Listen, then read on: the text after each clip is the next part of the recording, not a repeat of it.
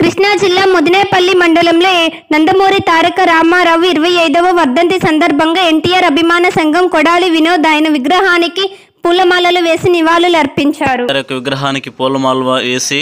నివాళులు అర్పించారు